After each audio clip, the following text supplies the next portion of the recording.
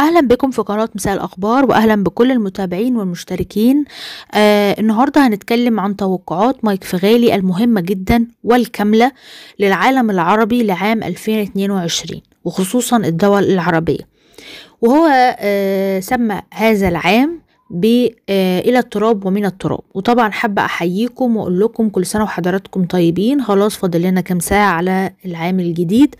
آه عشان كده قبل ما نبدأ حابة أفكركم سريعا بالاشتراك تفعيل الجرس وأيضا like و share للفيديو لو عجبكم. آه الحقيقة الأستاذ مايك فغالي حابين كمان إن إحنا آه نوجه له التحية والتقدير على التوقعات المهمة والخطيرة لهذا العام.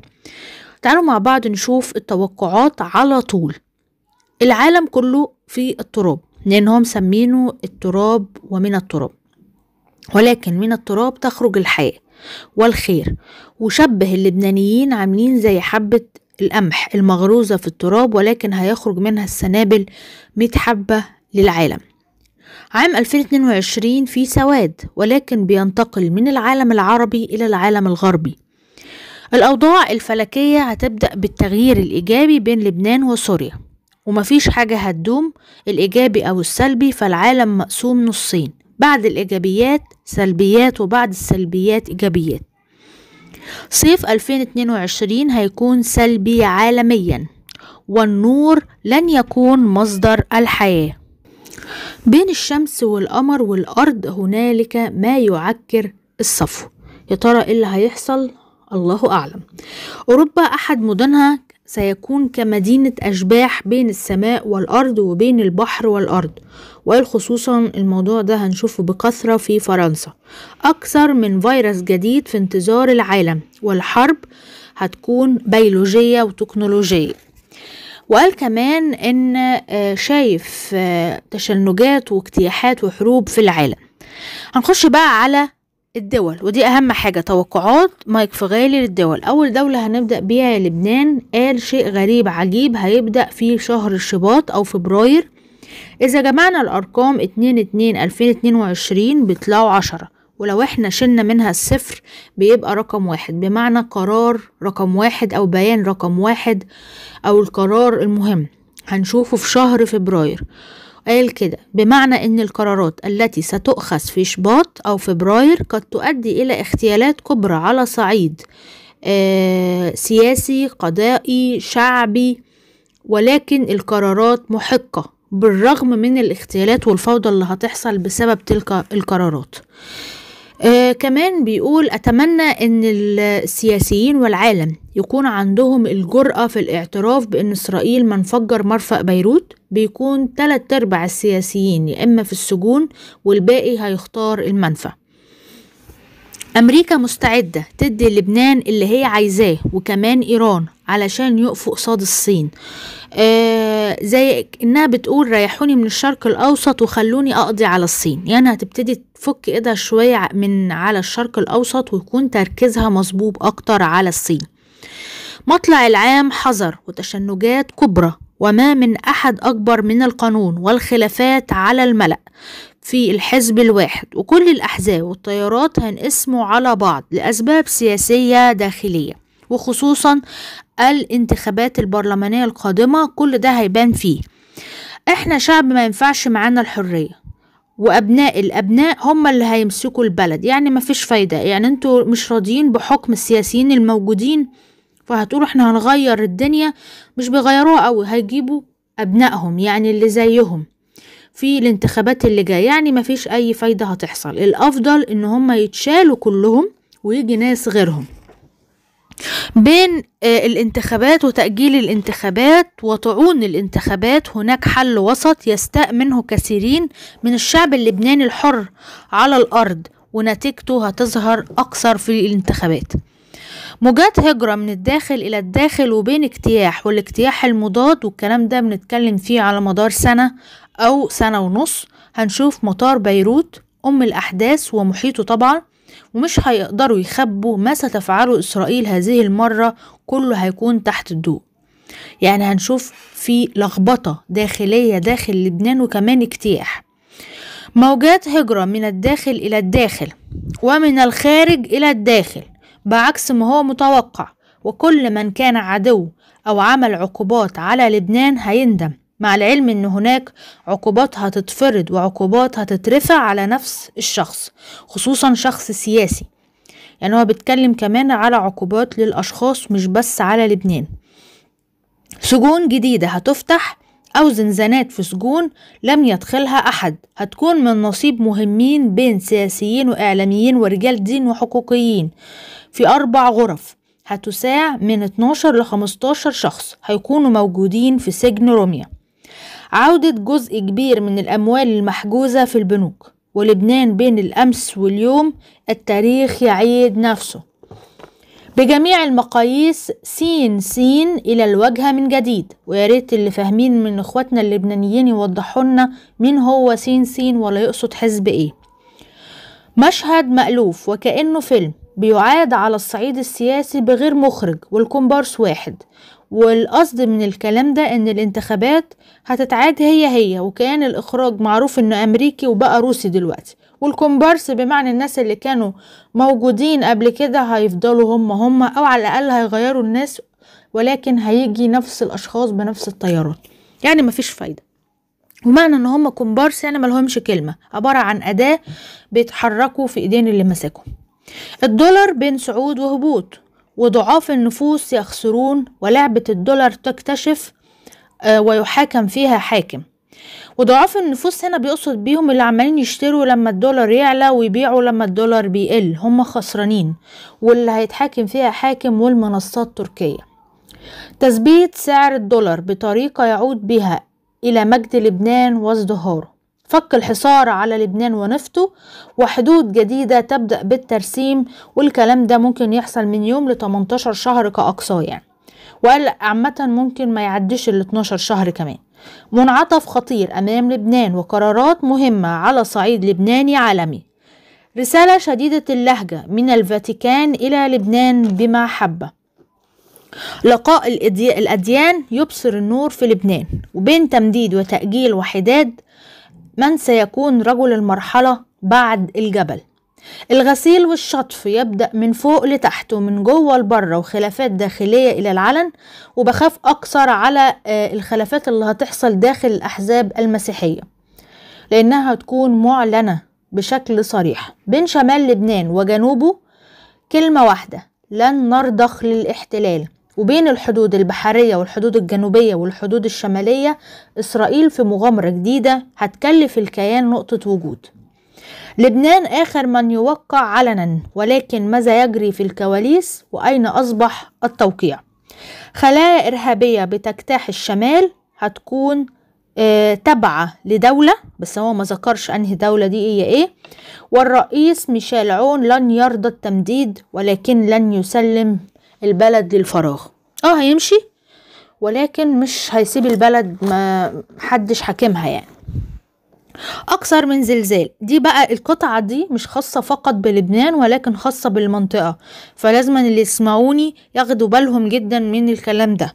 أكتر من زلزال هيأتي إلى لبنان. منه خضة من, من الخارج بتتأثر بيها.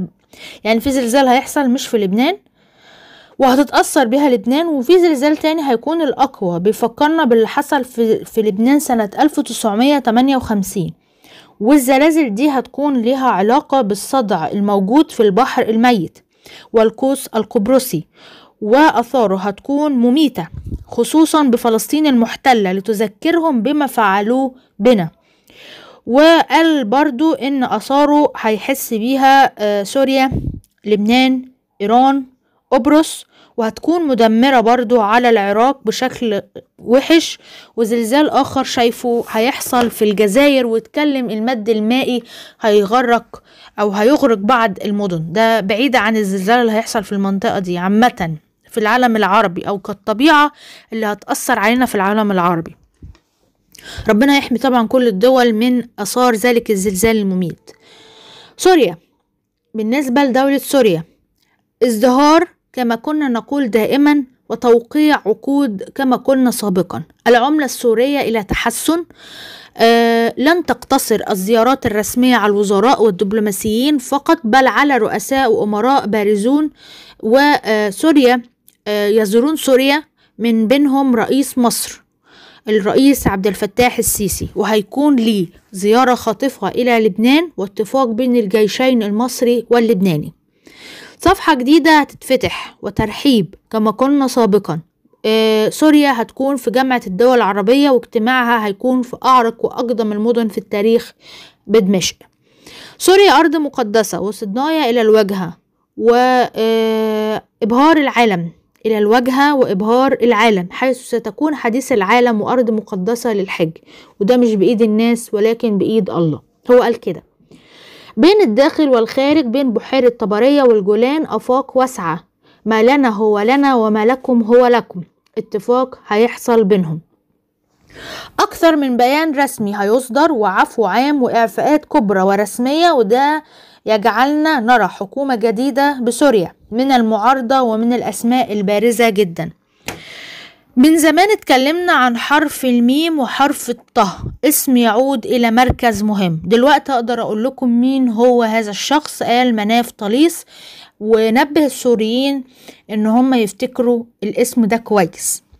كامل الأراضي السورية تحت السيطرة والعفو والمسامحة من شام الكبار ومن ضمنهم مسامحة لبعض السياسيين اللي كانوا موجودين في قطر السعودية الخليج لبنان حتى الذين أهانوا الرئيس بشار الأسد. هيسامحهم. مفاجأة لأوروبا ممكن زيارة رسمية للرئيس السوري أو ما شابه. نخش بقى على الخليج. آه وخصوصا الإمارات قبل ما نخش على الدول قال حاجة مهمة جدا آه للدول الخليجية أكثر من خضة طبيعية ومصطنعة خارجة عن السيطرة وأهوال الطبيعة تسيطر على الألسن.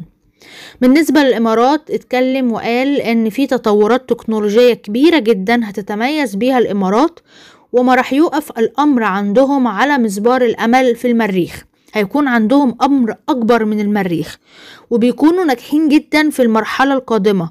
وسرعان ما تنهض وهذا ما يجعل لها أعداء كثيرين من الداخل ومن طبيعتها العربية.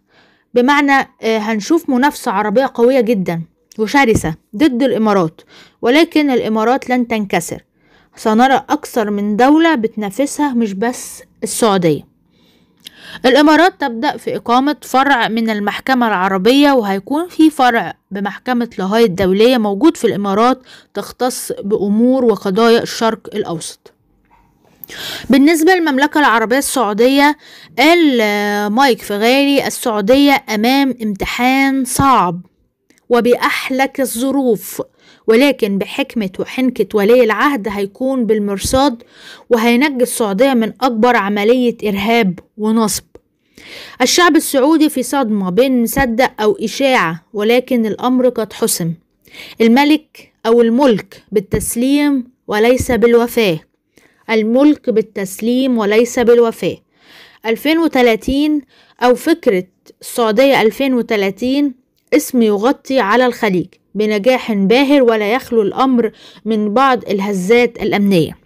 بين زمزم ومكة الحدث الكبير وصدمة لجميع الأديان حيث مياه زمزم هتكون بين علماء وأبحاث والصدمة دي هتكون كبر كبرى جدا وإيجابية. يعني مش صدمة سلبية عشان الناس برضو ما تتخضش صدمة إيجابية. أكثر من عاصفة في وجه ولي العهد بمرحلة من المراحل وإشاعات ومشاكل كبيرة والانقلاب لن ينفع وصحته هتكون جيدة. والكارلتون لسه موجود. زي ما استضاف رئيس الوزراء سابقا هيستضيف سياسيين وقضاة لبنانيين. هنا برضو في حاجة إن هو شبه اللي حصل في فندق الكارلتون لو تقدروا تفتكروا ساعة السعودية لما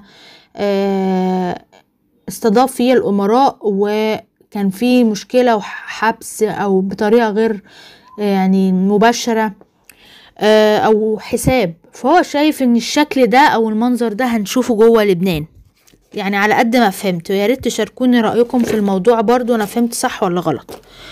آه كمان قال هيئة النهي بالمعروف هت هتقوم على ولي العهد. هتقوم على ولي العهد ولكن سيكون أقوى منهم ويحبطهم. بالنسبة لليمن إجمالا اليهود آه قدس فلسطين ليس لهم لكن مملكة قادش لهم اللي هي الحديدية في الوقت الحالي. لو بتلاحظوا إن أكثر المعارك في الحديدية موجودة في الوقت الحالي. الكلام ده كلام مايك فغيلي اتفاقات هتحصل واليمن إلى الاستقرار وإعادة الإعمار والإزدهار ومن خرب اليمن يعيد أعمارها. مصالحات كبرى بين الخليج واليمن واليمن يمنين آه، خصوصا البوادر دي هتبدأ في 2022 وهذا الشيء آه، نقدر نقول آه، هيريح. أو هيهدي الأوضاع شوية. يعني اليمن هتبقى ماشية بطريقة الكونفدرالية كده وده هيكون أحسن بكتير بالنسبة لها. مش بمعنى إن إحنا هنشوف اليمن دولتين ولكن هيكون في كونفدرالية بمعنى إن كل إقليم بيحكم نفسه بقوانينه ولكن تحت مسمى دولة واحدة. وده هنرجع نشوفه تاني مش بس في اليمن ولكن أيضا في لبنان. بالنسبة لدولة فلسطين المحبوبة لدى مايك فغالي بيقول إلى شعب فلسطين الكرام أقول لا تتفاجئوا إذا رحلوا الصهاينة عن أرضكم. آه هيمشوا من أرضكم لأفريقيا وأفريقيا هي الواجهة الجديدة وخصوصا جنوب أفريقيا والويل لهم. مادة السيليكون تعود إلى الواجهة. وعودة فلسطين إلى الفلسطينيين اليهود والمسيحيين والإسلام والقدس مهد الديانات السماوية ولكن من. لكن من سيكون راعي هذا الحدث مروان البرغوثي إلى العلن من السجن إلى أعلى المناصب كنيسة القيامة هي الحديث والحدث حول العالم هل سيترك العرب فلسطين تحكم نفسها؟ لن يتركوهم مش من مصلحتهم دي جملة خطيرة جدا. دي جملة خطيرة جدا. بالنسبة لمملكة الأردن آه اتكلم برضو مايك فغالي وقال أكثر من غيمة سودة ولكن بحكمة الملك تنجيهم حيث الأمور ستتعقد والسبب وراءه تركي عربي على أرض الأردن. أناشد الشعب الأردني الأصيل الوقوف بجانب الملك لإعادة السيطرة ولي العهد أمام أول امتحان. مفتاح القدس أمانة بيد المملكة الهاشمية. بيرجعوا يردوها إلى أهل فلسطين ليحكموا حالهم. ولكن هل يقبلوا باقي العرب؟ واتكلم وقال المملكة الهاشمية وما قالش الأردن لأن المملكة الهاشمية راح تتطور وتتوسع. بالنسبة لمصر تحية طبعا لكل أهل مصر وكل أهل الدول اللي إحنا اتكلمنا عليهم قال قلبي مع مصر. في دمعة حزن ودمعة فرح وضريبة كبيرة تدفعها مصر. الحدث والحديث على أحد المطارات والقاهرة في عين الحدث. ربنا يستر إن شاء الله. تفوق الجيش المصري هو سبب الضريبة الأولى. المياه والبحر تهديد صريح لمدن مصرية. مصر تتصدر المشهد العربي والجيش المصري لأول مرة خارج أراضيه. الحقد الدفين يحصد أبرياء وأصابع الاتهام تركيا والمظاهرات لن تفلح. السيسي سد منيع حيث حقد المنظمات اللي كانت حاكمة في مصر عاوزة تخلق حرب طائفية ولكن الجيش المصري يقف بالمرصاد. ربنا يحميهم يا رب. ويرجع يلم الأمور زي ما لازم تتلم. أخبار عمرو دياب تشغل الصحافة والجمهور تدمع عينيه حزنا ولكن مفيش موت. يعني هو بيطمن الناس إن الموضوع يحزن ولكن مش هيصل لدرجة الموت يعني. الإهرامات. شبه خطر حواليهم. الأهرامات في شبه خطر حواليهم. والانتباه كبير. وزي ما حكينا من قلب الأهرامات في مفاجآت والمفاجأة الحالية هتكون في الأهرامات. حتى لو حصل شيء على صعيد الطبيعة أو الإرهاب في عدة أمور هتظهر إلى العلن. وهناك يبدأ الخلاف بين العلم والدين.